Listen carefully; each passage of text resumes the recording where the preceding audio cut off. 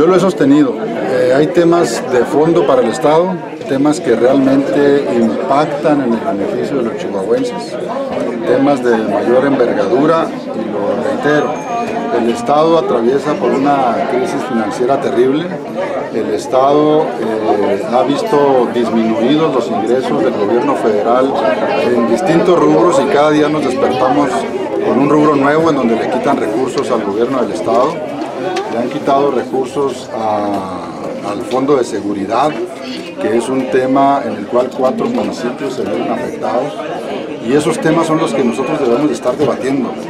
Nosotros tenemos que asegurarnos de que el Estado reciba el dinero que merece, nosotros necesitamos asegurarnos que los funcionarios hagan el trabajo que tienen que hacer, que se les evalúe y quienes tengan ejercicios o ineficiencias eh, o malos resultados en los indicadores de sus dependencias, que se les despida. Esos son los temas importantes en los cuales nosotros debemos estarnos centrando. Desafortunadamente existen eh, actores políticos que quieren desviar de estos temas torales e importantes en otros temas mediáticos que no tiene sentido discutirlos. Eh, uno de estos temas, es, uno el de estos temas es el tema de las camionetas. Digo, desviar el tema, el tema de las camionetas, cuando la realidad que vivimos en el estado de Chihuahua debe de ser una realidad que nos apriete la garganta y nos estruje los hombros. Eso es a la que nosotros debemos de enfocarnos y poner nuestro esfuerzo para resolverlos.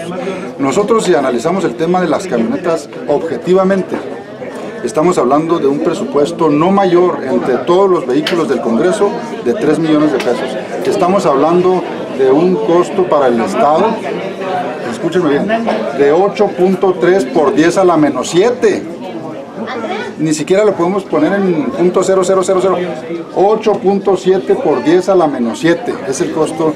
O sea, es algo realmente que, que se quiere desviar la atención en un tema que ante la ausencia, la carencia de temas para debatir, pero sobre todo la ausencia de posturas inteligentes, firmes y sólidas para combatir la realidad que atraviesa el estado de Chihuahua, prefieren desviarse a este tipo de temas. Entonces, ¿sería bueno dictaminarlo o no?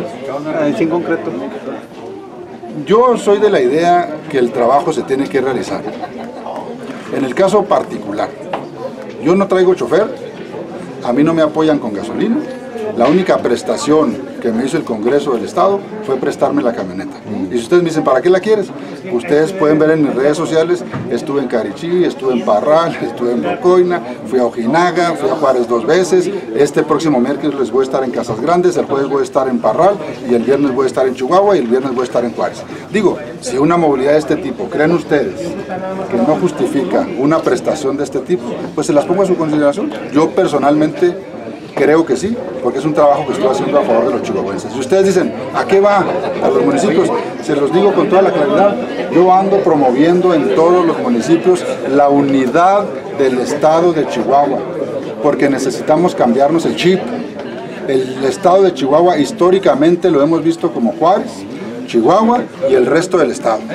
Y esa visión del estado nos ha sumido en la mediocridad.